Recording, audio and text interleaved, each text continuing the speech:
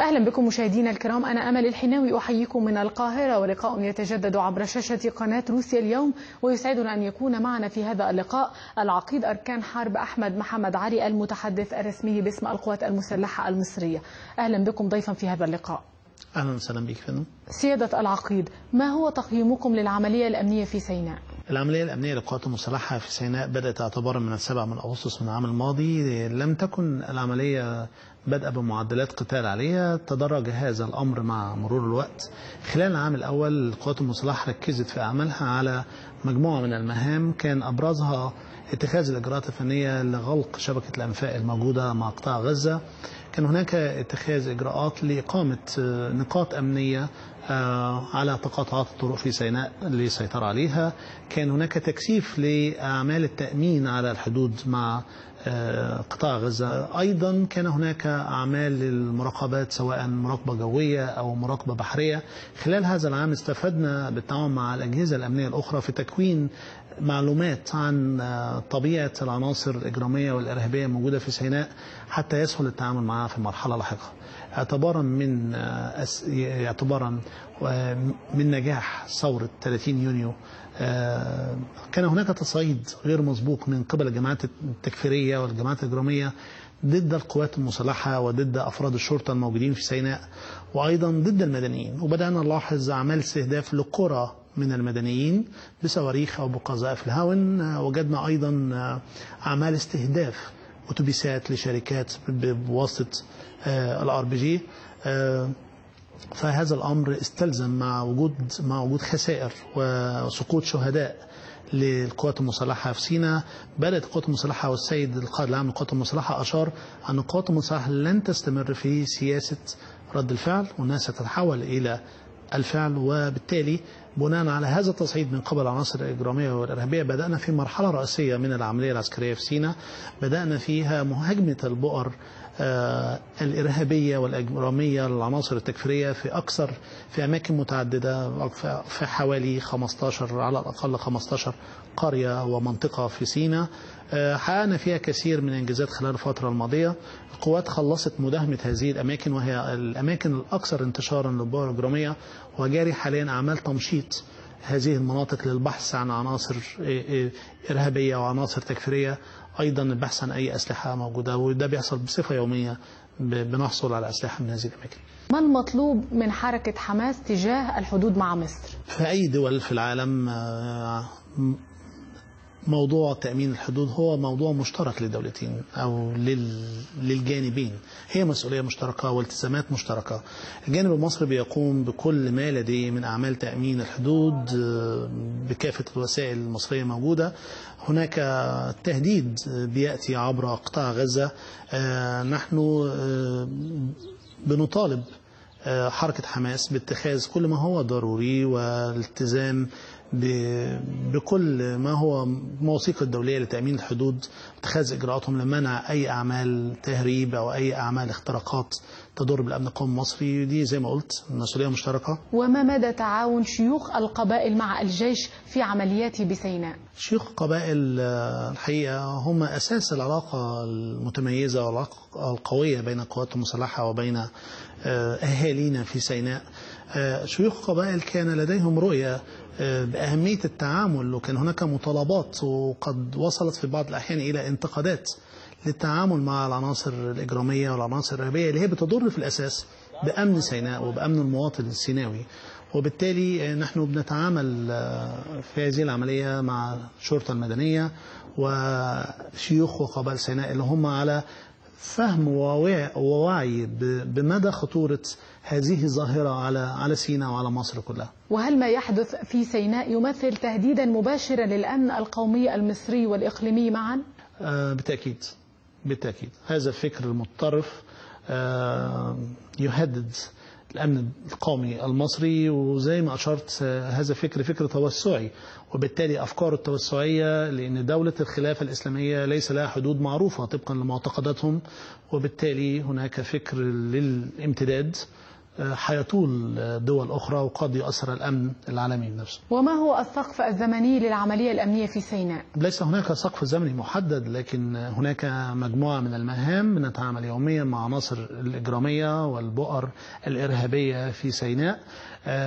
لن يكتمل الإطار الزمني إلا بتحقيق الأهداف الكاملة للعملية. ولماذا تصرون على إغلاق الأنفاق مع قطاع غزة؟ ببساطة جدا إنها شيء غير قانوني الأنفاق ليس هناك أنفاق بين الدول تستخدم لأعمال التهريب خاصة تهريب الأسلحة والمخدرات تهريب بعض الأدوات والمعدات اللي تهدد أمن القومي لأحد الدول وبالتالي هذه ظاهرة غير قانونية وجدت في فترة زمنية معينة ولكن القوات المسلحة المصرية والدولة المصرية بتتخذ كل ما هو لازم الآن لإغلاق هذه الأنفاق لأنها غير قانونية وتهدد الأمن القومي المصري خاصة في ظل تواجد العديد من المعابر القانونية اللي بتسمح بعبور المساعدات والمعونات والأفراد إلى الجانب الآخر. الشيخ القرضاوي دعا الضباط والجنود إلى الانشقاق وعدم إطاعة الأوامر الصادرة إليهم ما اعتبره البعض تحريضا مباشرا على الجيش. لمصلحة من ذلك؟ في هذه الدعوة اللي حضرتك أشرت إليها. أنا لا أريد التعليق عليها أو تحليلها ولكن أنا هناك تأكيدات أنا أحب أكررها. عملية استهداف الجيش المصري والتشكيك في مدى تماسكه دي استمرت على مدار الفترة الطويلة الماضية والوقت أثبت كذبها وهزنها ادعاءات غير حقيقية بالمرة. الجيش المصري كما قال الرسول عليه الصلاة والسلام عن المصريين أنهم في رباط إلى يوم الدين. والجيش المصري هو نسيج نسيج وطني من الأسرة المصرية. بينهم أبناء الأسرة المصرية ابن أو أب أو أخ أو شقيق أو زوج في كل بيت مصري. وبالتالي هم على قلب رجل واحد. أنصح من يستخدم هذه الدعوات ومن يحاول التحريض ضد الجيش المصري أن يقرأ التاريخ جيدا ليعلم أن الجيش المصري هو جيش وطني جيش حقيقي لم ينشق في تاريخه ولم يخرج أفراده على قادتهم لأننا نعلم أن قادتنا يعملون صالح أمن الوطن. الجيش المصري متماسك وصلب وكل هدفه وكل هدف كل أفراده هو الدفاع عن مصر والمصريين سيادة العقيد ما هي طبيعة الأسلحة التي تم ضبطها بسيناء؟ معظم الأسلحة اللي إحنا بنضبطها في سيناء هي أسلحة متفاوتة الأعيرة والأحجام هناك أسلحة ثقيلة زي بعض الأسلحة اللي هي مدفعية غير مباشرة زي الهاونات بأعيرة مختلفة. هناك هاونات أعيرة 60 ملم و80 ملم ومن 120 ملم هناك بعض الصواريخ المضادة للطائرات صواريخ إجلة على سبيل المثال. هناك رشاشات من عيار كبير هناك آر بي جيهات ونحن نتحدث هنا عن أسلحة تستخدم في معارك حربية وليس أسلحة لعصابات أو عناصر إجرامية وبالتالي هذا أمر يشكل خطورة. لكن معظم هذه الأسلحة طبقا للمعلومات إن هي أسلحة مهربة من من ليبيا خلال العامين الماضيين اللي هي ليست مصر فقط ولكن المنطقة تأثرت كثيرا بحجم الأسلحة الكثير اللي بيتم تهريبه عبر الحدود إلى الدول المجاوره ومنها مصر بشكل رئيسي.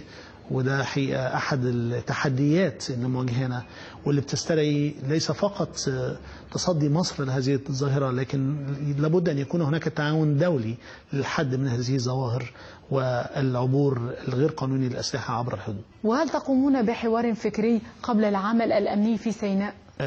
قمنا بهذا القوات المسلحة نفسها لا تقوم بمثل هذه الحوارات ولكن بنترك الفرصة للقوى الدينية والقوى السياسية وده تم خلال عام 2012 أتحنا الفرصة لعمل لعمل الحوار الفكري والعمل السياسي لإيجاد قناعات لدى هؤلاء اللي يحملون أفكار متطرفة للعدول عن أفكارهم ولكن أثبت الوقت أنه لا فائدة من ذلك.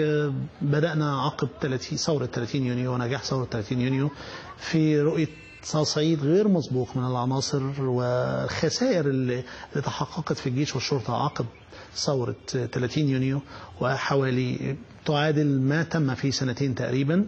وبالتالي كان هناك يقين أن أن العمل الفكري لا ليس منه فائدة. وبالتالي قوات المسلحة قررت أنها تتخذ الخطوات الضرورية لاتخاذ الفعل وليس رد الفعل لأن هناك تهديد خطير يهدد أمن القوم المصري والمصر والمصريين جميعا.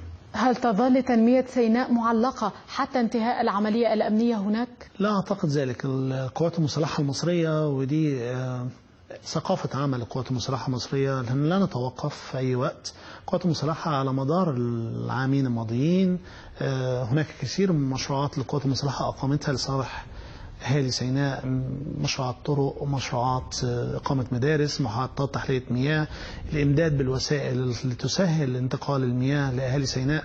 وبالتالي نحن لا نتوقف ولكن بالتأكيد اكتمال العملية الأمنية وتحقيقها لأهدافها واستعادة الأمن والاستقرار في سيناء هيعود أكيد بكثير من الاستثمارات والمشروعات اللي على نطاق أوسع اللي ممكن تحقق طموحات أهالي سيناء و وتمنح كثير من فرص العمل لأن أعتقد أن عدم وجود فرص عمل قد يكون أحد الأبعاد التي تهدد عملية الانحراف الفكري في موجودة في سيناء لدى البعض هل المنطقة تتحمل اندلاع حرب شديدة من وجهة نظرك؟ نحن نرى أن المنطقة لا تتحمل مزيد من الحروب. المنطقة حاليا يتواجد بها كثير من المشكلات. اعتبارا من عام 2011 ونجد حالة عدم استقرار في معظم دول المنطقة وبالتالي هناك تداعيات سلبية على مسار الاجتماعي ومسار الاقتصادي وبالتالي دخول دول من المنطقة وتحول المنطقة إلى مناطق حروب. ده أعتقد هيضر كثيرا بالمنطقة وهيضر كثيرا بالأمن العالمي وبالتالي لا نتفق مع مع إمكانية حدوث حروب في المنطقة خلال الفترة الحالية أو الفترة القادمة. من المعروف أن دخول معدات عسكرية ثقيلة إلى المنطقة جيم يحتاج إلى التنسيق مع الجانب الإسرائيلي. ما أهمية هذا التنسيق بالنسبة لكم؟ وما هي طبيعة هذا التنسيق مع الجانب الإسرائيلي؟ التعاون التعاون الأمني بين مصر وإسرائيل ده بيأتي في طبقا للاتفاقية الأمنية المرفقة بمعاهدة السلام بين مصر وإسرائيل. الاتفاقية الأمنية حددت وجود جهازي للاتصال على الجانبين. الجهازين دول هم المختصين بأعمال التنسيق اللي بتتم بين الجانبين لأعمال ضبط الحدود والالتزام بالاتفاقية الأمنية الموقعة. وهناك قوات ما تسمى قوات فصل القوات الموجودة في سيناء والمراقبين اللي بتراقب تنفيذ الجانبين لهذه لهذه الاتفاقية على على المناطق المختلفة سواء المنطقة ألف وب وجيم في الجانب المصري أو المنطقة دال في الجانب الإسرائيلي. عندما بيتطلب الأمر زيادة للقوات بيتم تنسيق ذلك مع الجانب الإسرائيلي وأعتقد أن هناك تفاهمات في هذا الأمر. ما يحدث مواجهة الإرهاب في سيناء. يعود بالنفع على الجانبين وبالتالي أعتقد أن هذا الأمر يتم رؤيته بنفس المنطق وبالتالي هناك تنسيقات وهذا لا يشكل مشكلة على الإطلاق في هذا الوقت. في نهاية اللقاء العقيد أركان حرب أحمد محمد علي المتحدث الرسمي باسم القوات المسلحة شكرا جزيلا لكم. أشكر حضرتك. شكرا. وشكرا لكم مشاهدينا الكرام على حسن المتابعة وإلى اللقاء.